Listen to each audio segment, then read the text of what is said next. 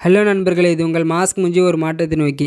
நாம் இன்றைக்கி நம்ம சேனலில் ரொம்பவே இன்ட்ரெஸ்டான டாபிக் பற்றி தான் பார்க்க போகிறோம் ஸோ வீடியோ ஸ்கிப் பண்ணாமல் ஃபுல்லாக பாருங்கள் கைஸ் அப்படி என்ன பார்க்க போகிறோம் அப்படின்னு சொல்லிட்டு பார்த்தீங்கன்னா ஒரு போலீஸ் ஆஃபீஸர் வந்து ஒரு நபரை கைது பண்ணுறதுக்கு முன்னாடி ஒரு சில கடமைகளை வந்து அவர் கடைப்பிடிச்சிருந்தால் மட்டும்தான் அந்த கைதை வந்து வேலிடு அப்படின்னு சொல்லிட்டு சொல்கிறாங்க ஸோ அந்த மாதிரி என்னென்ன கடமைகள் வந்து அவருக்கு இருக்குது ஸோ என்னென்ன அவர் கடைப்பிடிக்கணும் அப்படின்றத வந்து தெளிவாக வந்து பார்க்கலாம். இந்த வீடியோ ஃபுல்லாக பாருங்கள் கைஸ் ஸோ நம்ம சேனலை இன்னும் சப்ஸ்கிரைப் பண்ணாதவங்க சப்ஸ்கிரைப் பண்ணிக்கோங்க. கூடவே பெல் ஐக்கானையும் கிளிக் பண்ணிக்கோங்க. அப்போ தான் நம்ம போடுற வீடியோஸ் எல்லாமே உங்களுக்கு டைமுக்கு நோட்டிஃபிகேஷனில் காட்டும்.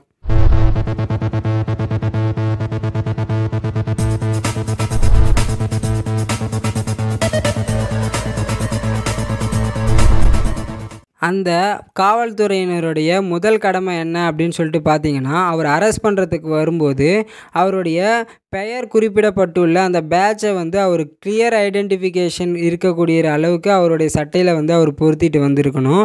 அதாவது வந்து அவர் கவர்மெண்ட்டே வந்து அவங்களுக்கு வழங்கியிருக்கும் இல்லையா?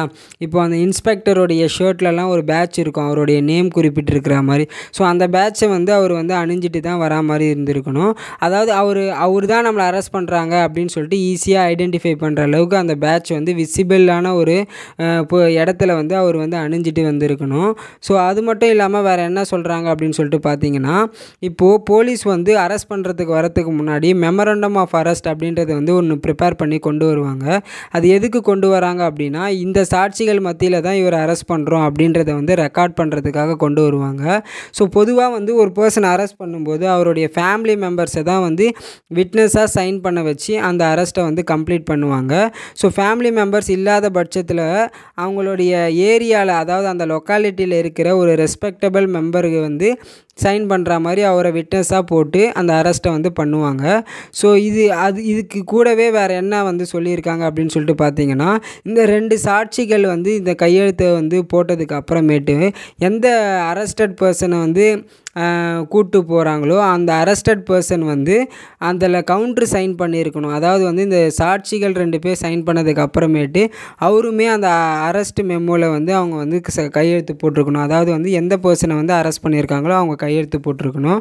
ஸோ இது மட்டும் இல்லாமல் இப்போ ஃபேமிலி மெம்பர்ஸ் இல்லாத பட்சத்தில் அவர் வந்து யார் விரும்புகிறாரோ அதாவது வந்து ஃப்ரெண்டோ இல்லை ரிலேட்டிவோ யார் விரும்புகிறாரோ அவருடைய அவங்கள வந்து அவங்களுக்கு வந்து இந்த மாதிரி அரெஸ்ட் பண்ணுறோம் அப்படின்றத வந்து இன்ஃபார்ம் பண்ணணும் அப்படின்னு அப்படின்றது வந்து போலீஸோடைய கடமை. ஸோ அதை வந்து போலீஸ் கண்டிப்பாக பண்ணி தான் ஆகணும். ஸோ யாருக்குமே தெரியாமல் ஒரு நபரை வந்து அரெஸ்ட் பண்ண முடியாது. எய்தர் ஃபேமிலி மெம்பர்ஸுக்கு தெரியணும் இல்லை ஃப்ரெண்ட்ஸ் இல்லை ரிலேட்டிவ்ஸ் வந்து அந்த அரெஸ்டட் பர்சன்கிட்டயே யாருக்கு தெரிவிக்கணும் அப்படின்றத கேட்டு போலீஸ் வந்து தெரிவிக்கணும் அப்படின்றது வந்து அவருடைய கடமை. ஸோ அது தெரிவிக்காமல் இருக்கிறாங்க அப்படின்னா அது இல்லீகல் அரெஸ்ட்டாக தான் வந்து கன்சிடர் பண்ணுவாங்க அஸ் பர் த லா இப்போ நான் சொன்னது வந்து section forty one B of code of criminal procedure கோடில் வந்து மென்ஷன் பண்ணி சொல்லியிருக்காங்க.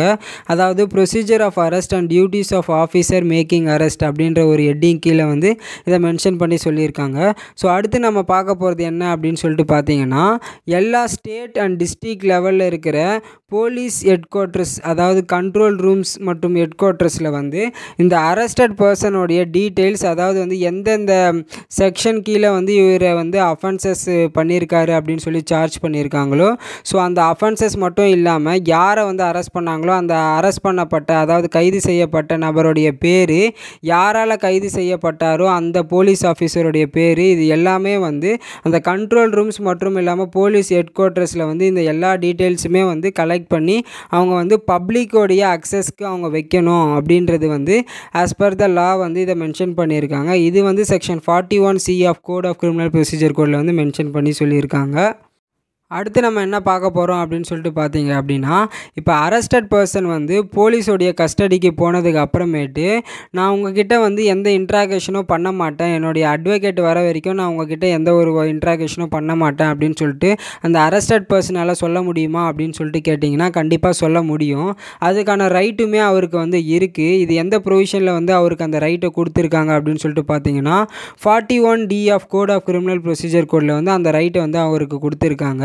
அதாவது அந்த இன்ட்ராகேஷன் ஃபுல்லாகவே அந்த அட்வொகேட்டை வந்து இருக்கிறதுக்கு அந்த போலீஸ் அலோவ் பண்ணாட்டியும் மேக்ஸிமம் டைம் வந்து எவ்வளோ நேரம் இருக்க முடியுமோ அவ்வளோ நேரம் வந்து அந்த அட்வொகேட் கூடயே இருந்து அந்த அரெஸ்டட் பர்சன் வந்து இன்ட்ராகேஷனை வந்து நடத்தி முடிச்சுட்டு வரத்துக்கு வந்து அவருக்கு ரைட் இருக்குது ஸோ இது மூணு முக்கியமான ஒரு சில விஷயங்களை வந்து நீங்கள் தெரிஞ்சுக்கிட்டு இருப்பீங்க அப்படின்னு சொல்லிட்டு நம்புகிறேன் ஸோ இது கூடவே வந்து ஒரு அரெஸ்ட் வந்து எப்படி நடக்கணும்? அதாவது வந்து அரெஸ்ட் ஹவு மேட் அப்படின்னு சொல்லிட்டு ஒரு ப்ரொவிஷன் கீழே வந்து ஒரு அரெஸ்ட் வந்து எப்படி நடக்கணும் அப்படின்றத வந்து மென்ஷன் பண்ணி சொல்லியிருக்காங்க.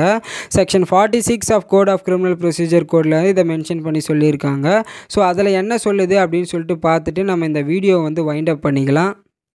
ஒரு அரெஸ்ட் எப்படி நடக்கணும் அப்படின்னு சொல்லிட்டு பார்த்தீங்கன்னா இப்போ சினிமாவில் வரா மாதிரி வந்து ஒரு அரெஸ்ட்டு பண்ணக்கூடிய வந்து ஒரு போலீஸ் ஆஃபீஸர் எப்பயுமே அந்த விலங்கோட தான் போயிட்டு அவர் கையில் வந்து மாட்டி தான் வந்து கூட்டு வரணுமா அப்படின்னு சொல்லிட்டு கேட்டிங்கன்னா அப்படி வந்து பண்ணவே கூடாது. ஆக்சுவலி வந்து அந்த விலங்கு வந்து எக்ஸப்ஷனல் சுச்சுவேஷனில் தான் வந்து அதை யூஸ் பண்ணுவாங்க. அதாவது வந்து ரொம்பவே வந்து அவரை தவிர்க்க முடியல அவர் வந்து ஓட பார்க்குறாரு அப்படின்ற பட்சத்தில் தான் வந்து அந்த விலங்கோட போட்டு அவரை வந்து கூட்டு போவாங்க. மற்றபடி வந்து அந்த அவருக்கு வந்து அந்த விலங்கை மாட்டி தான் அரெஸ்ட் பண்ணணும் அப்படின்றது வந்து அவசியம் கிடையாது. ஸோ அரெஸ்ட் ஹவு மேட் அப்படில அதில் வந்து என்ன சொல்லியிருக்காங்க அப்படின்னு சொல்லிட்டு பார்த்தீங்கன்னா இப்போ ஒரு நபரை அரெஸ்ட் பண்ண போகும்போது அவரை வந்து தொடணும். அதாவது வந்து அவரை டச் பண்ணணும். அது மட்டும் இல்லாமல் இப்போ அவர் வந்து ஓடுற மாதிரி இருக்காங்க அப்படின்ற பட்சத்தில் வந்து அவர் வந்து கையை பிடிக்கிற அளவுக்கு வந்து ஒரு எக்ஸ்டென்ட் வந்து போகலாம். அதாவது வந்து அவருடைய பாடியை வந்து அவங்களுடைய கண்ட்ரோலுக்கு கொண்டு வரணும்.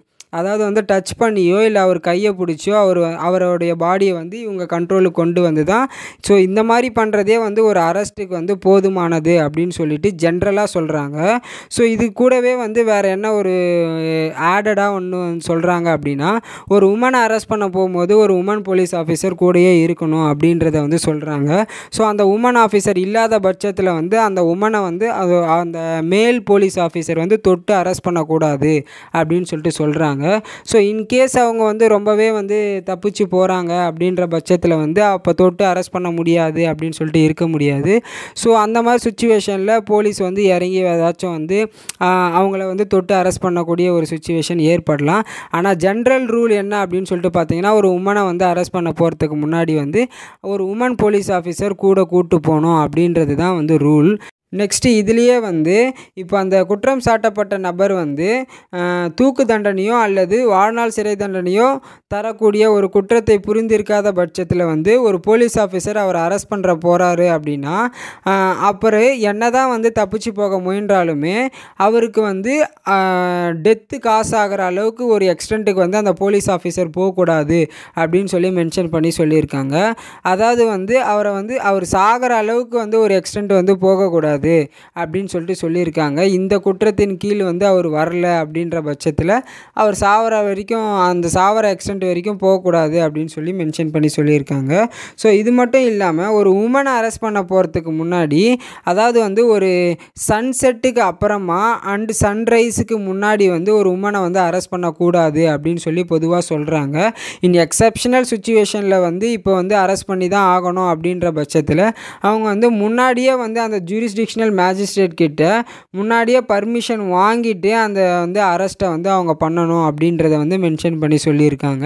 ஸோ இந்த வீடியோ வந்து உங்களுக்கு ரொம்பவே பயனுள்ளதாக இருக்கும் அப்படின்னு சொல்லிட்டு நம்புகிறேன் இந்த வீடியோ வந்து உங்களுக்கு பிடிச்சிருந்துன்னா லைக் பண்ணுங்கள் உங்கள் ஃப்ரெண்ட்ஸ் எல்லாருக்கும் இதை ஷேர் பண்ணுங்கள் ஸோ இந்த இது வீடியோ சம்மந்தமாக உங்களுக்கு ஏதாச்சும் டவுட்ஸ் இருந்துச்சுன்னா நீங்கள் கமெண்ட் செஷனில் கமெண்ட் பண்ணுங்கள் நம்ம சேனலை இன்னும் சப்ஸ்கிரைப் பண்ணலன்னா சப்ஸ்கிரைப் பண்ணிக்கோங்க. கூடவே பெல் ஐக்கானையும் கிளிக் பண்ணிக்கோங்க. நன்றி.